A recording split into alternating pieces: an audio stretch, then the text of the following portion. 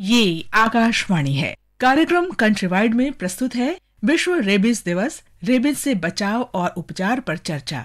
इसमें भाग ले रहे हैं राम मनोहर लोहिया अस्पताल के डॉक्टर संजीत पानेसर और आकाशवाणी संवाददाता Diksha Saxena.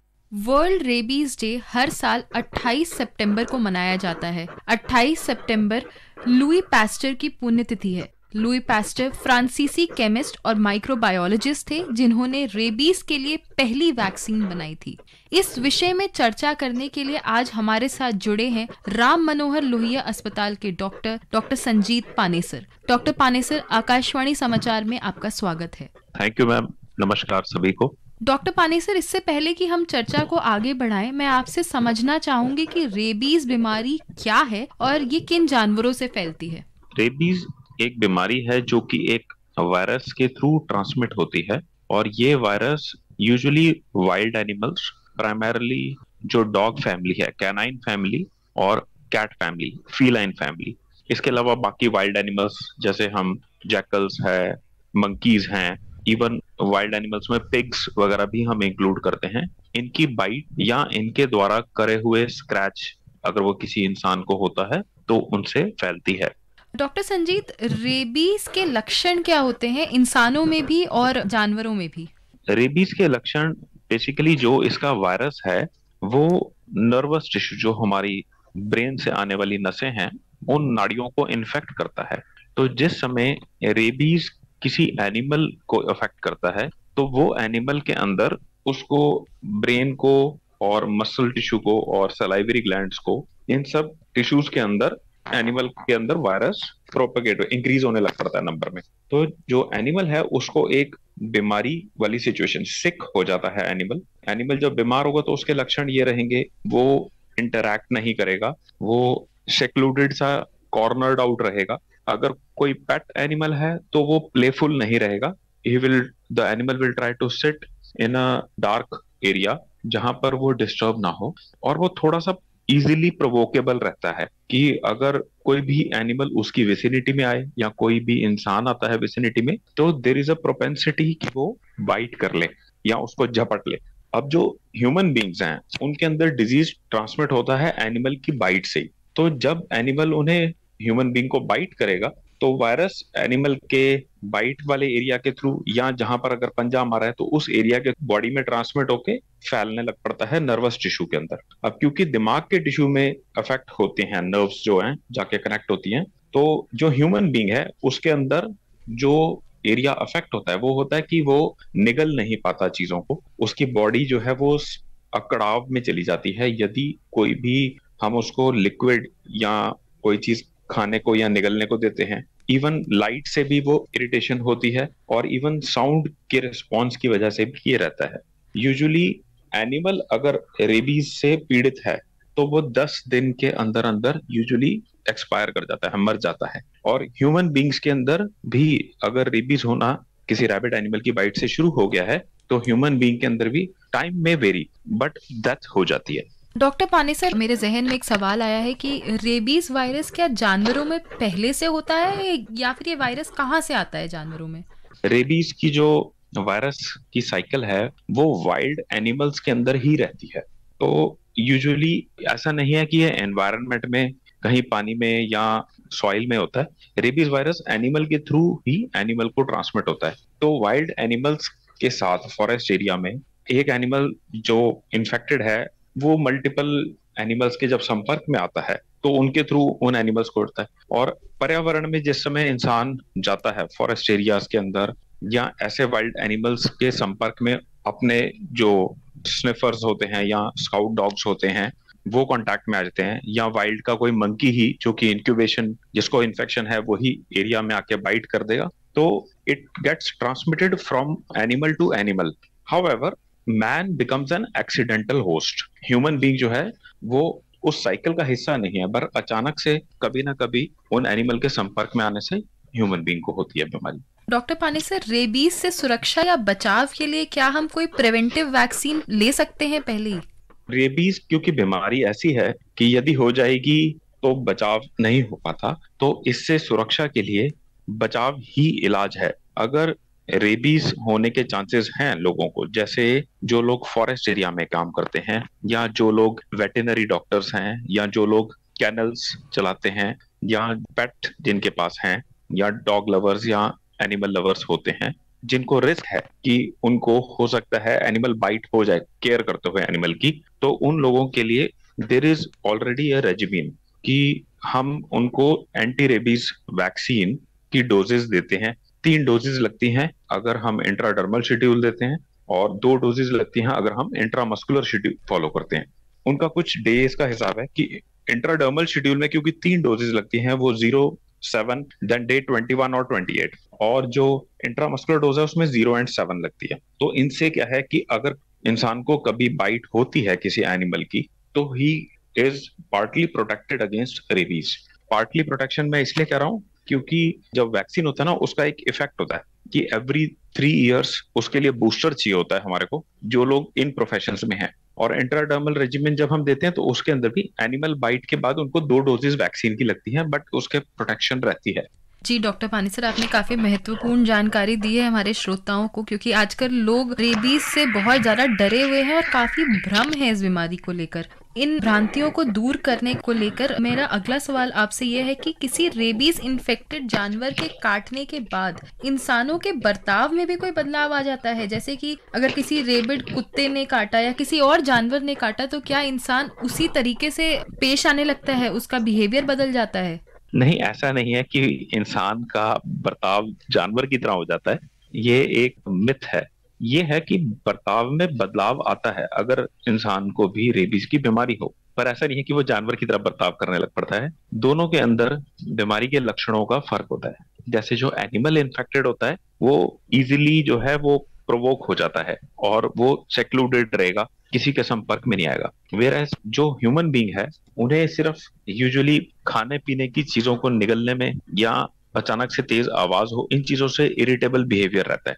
इंसान ज़्यादा इरिटेबल रहता है और सिर्फ़ एक चीज़ है कि जब रेबीज वायरस किसी को अफेक्ट करता है तो उसकी जो मांसपेशियाँ हमारे को खाना या पानी निगलने की मदद करती हैं गले के अंदर, ये मांसपेशियाँ दिमाग से कंट्रोल होती हैं। तो दिमाग का वो हिस्सा अफेक्ट होता है कि वो निगल नहीं पाता इवन अपने सलाइवा को भी निगल नहीं पाता। तो अक्सर उसके मुँह से आपको थूक या लार जो है, वो निकलती हुई दिखाई देगी। तो लोग इस चीज़ को यह मान लेते हैं कि यह जानवर की तरह हो गया है।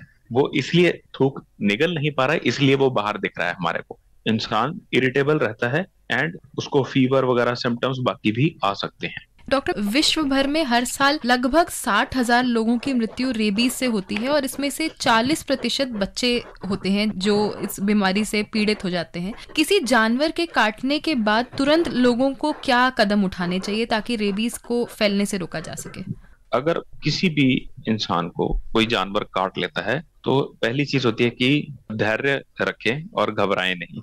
साबुन और पानी, ये दो चीज़ें बहुत ही इंपॉर्टेंट हैं। रेबीज की प्रिवेंशन के लिए। जहाँ पर भी जानवर ने पंजा मारा है या झपटा है, उस जख्म को चलते पानी के नीचे, अगर साबुन हो तो बहुत अच्छी बात है, अगर नहीं भी है तो चलते पानी के नीचे धोएँ, ताकि मैक्सिमम जो वायरस बाइट वाले एरिया के अंदर इकट्ठा हुआ है। तो जब वायरस वहाँ से वॉश ऑफ़ हो जाएगा तो चांसेस ये है कि जो क्वांटिटी है वायरस की, या तो वो खत्म हो जाएगी या इतनी घट जाएगी कि ज़्यादा अफेक्ट ना कर सके। और जिस समय आपने उसको चलते पानी के नीचे जख्म को धो लिया, कम से कम 20 मिनट तक धोना होता है जख्म वाले एरिया को और नजदीकी जो भी आपके स्वास्थ्य केंद्र हो, वहाँ पर जाके एंटी रेबीज वैक्सीन आती हैं अलग अलग नाम से आती हैं तो जो भी वैक्सीन अवेलेबल हो, वहाँ पर एंटी रेबीज की, उनका कोर्स जल्दी से जल्दी शुरू करें और वो कोर्स पूरा लें।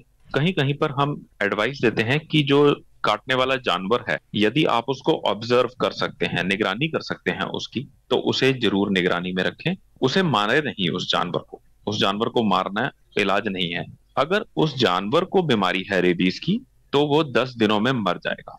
और यदि वो दस दिन के बाद तक ज़िंदा है तो मतलब उस जानवर को बीमारी नहीं थी। तो मन से आपके वो शंका दूर हो जाती है कि ये जानवर रेबी से पीड़ित नहीं था। तो आप अपना इंजेक्शन का जो कोर्स है, उसमें आखिरी इंजेक्शन फिर छोड़ सकते हैं। ये भी एक ऑप्शन होती है। कुछ कुछ लोग ये बताते हैं कि हम ट्रैवलिंग के दौरान कहीं गए हुए थे या किसी दूसरे इलाके में थे या हमें जी पता नहीं लगा स्पेशली बच्चों में नहीं पता लगता या कोई बुज़ुर्ग आदमी है या कोई बंदा जिसको दिव्यांग है कोई जना तो उनको कभी कभार नहीं याद रहता या नहीं पता लगता कि किस जानवर ने काटा था। तो उन सूरत में भी हमें जख्म को धोना है और टीकाकरण का कोर्स पूरा करना है।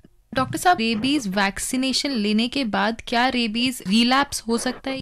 नहीं मैम यूजुअली हम ये मानकर चलते हैं कि जो वैक्सीन सप्लाई में है, उनके लिए बहुत सारे शोध हो रखे हैं ऑलरेडी जो बताते हैं कि इसकी एफिशिएंसी अच्छी है वैक्सीन की। तो जिन भी लोगों को डॉग बाइट या कैट बाइट या वाइल्ड एनिमल बाइट हुई है, उनको अगर हमने प्री एक्सपोजर प्रोफ़ाइल एक्सेस दे रखा हो मतलब बचाव के लिए ऑलरेडी उन्होंने इंजेक्शन ले रखे हो, या फिर किसी को जानवर काटने के बाद हमने वैक्सीनेशन जल्दी से जल्दी शुरू कर दिया हो प्रेफरेबली हम कहते हैं 24 घंटे के अंदर अंदर शुरू कर दो टीकाकरण। तो जब आपने वैक्सीन ले ली है, और जो जख्म वाला एरिया वहाँ पर एंटी सीरम भी देते हैं हम लोग तो उनके अंदर ऑलमोस्ट हंड्रेड परसेंट लोग प्रोटेक्ट होते हैं। हाँ अगर किसी बंदे को बाइट हुई थी और उसने टीकाकरण नहीं कराया और वो कुछ सालों के बाद या कुछ महीनों के बाद रेबी से पीड़ित होके आता है अस्पताल, तब टीकाकरण का उसको फ़ायदा नहीं होता। इसीलिए हम कहते हैं कि जो जख्म होता है तो जल्द से जल्द जाके टीकाकरण शुरू कराएँ तो आपको रेबीज नहीं होगी।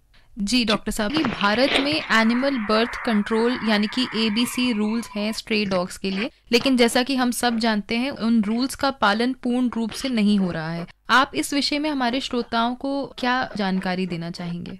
ये एक डिबेटेबल इशू है कि जो हमारे स्ट्रे एनिमल्स हैं उनका एबीसी करने की कोशिश करती है सरकार। डॉग पॉपुलेशन को कंट्रोल करने की कोशिश करती है क्योंकि वो स्ट्रे हैं।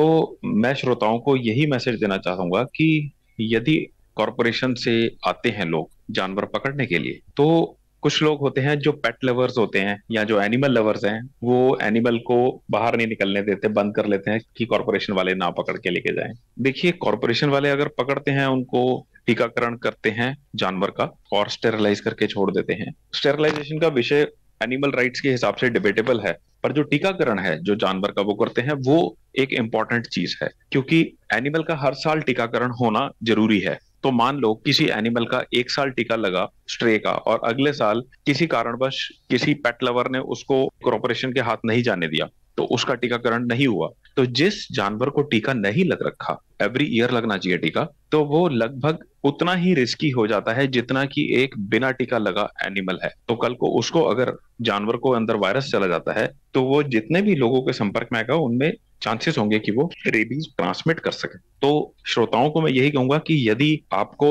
लगाव है स्ट्रेज एनिमल से तो आप उनका टीकाकरण करा दें। कोई प्रॉब्लम नहीं उसमें। हर साल कराएँ टीकाकरण। या फिर कोई एक एरिया मार्क कर लें जहाँ पर आप स्ट्रेस को रख सकें, ताकि वो सड़कों पे किसी को क्षति ना पहुंचाएँ और लोग उनको मारें भी ना। और यदि आगे कॉरपोरेशन उनका पॉपुलेशन कंट्रोल वगैरह का कोई स्टेप लेता है तो आप उसके लिए उनसे बात कर सकते हैं।